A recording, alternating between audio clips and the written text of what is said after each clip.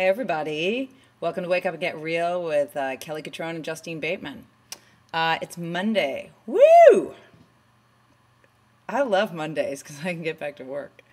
Um, to first up say uh, uh, a thank you to Liz Larios. Gave me this necklace. It's leather and chain. That's pretty cool, right?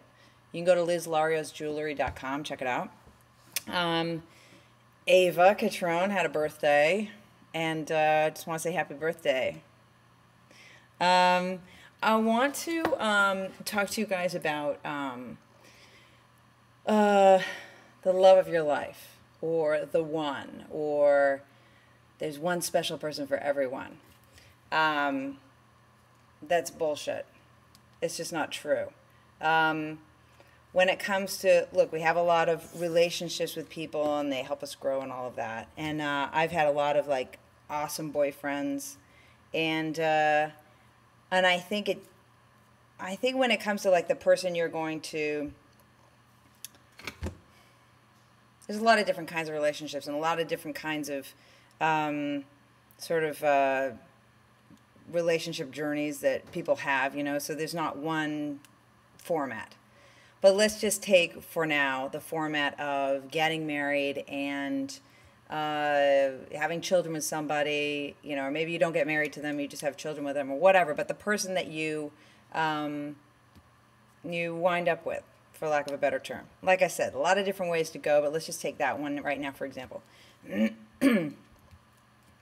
I believe that there's a timing issue. You know, someone may feel ready to get connect to be connected with somebody, to have that moment, to go into that kind of relationship.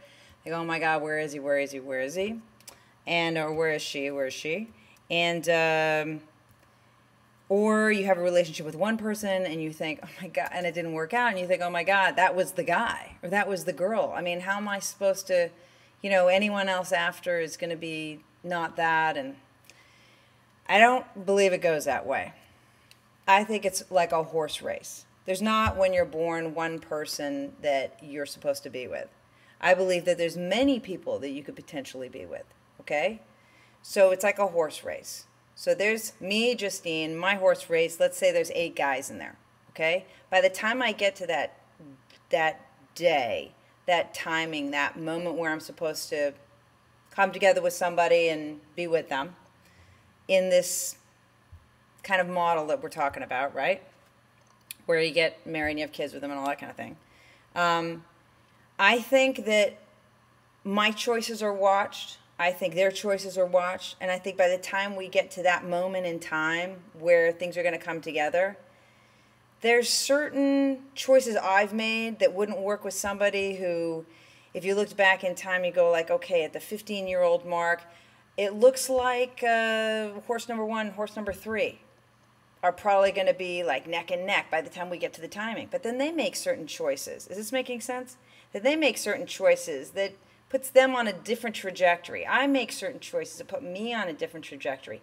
And maybe by the time I get to the timing, the day that, you know, doesn't sound that dramatic, you know, the day, but, you know, the moment where I'm going to connect with somebody, let's say there's somebody who in the beginning you know, if you were able to have that kind of perspective and look at everybody's lives at the same time in retrospect, then the beginning looked like wouldn't really be the uh, the best contender. But because of the choices they made in their lives and I made in my life, and the and the way our lives are gonna go, that by the time that day comes around, you go, oh look at that, it's horse number eight. Isn't that interesting?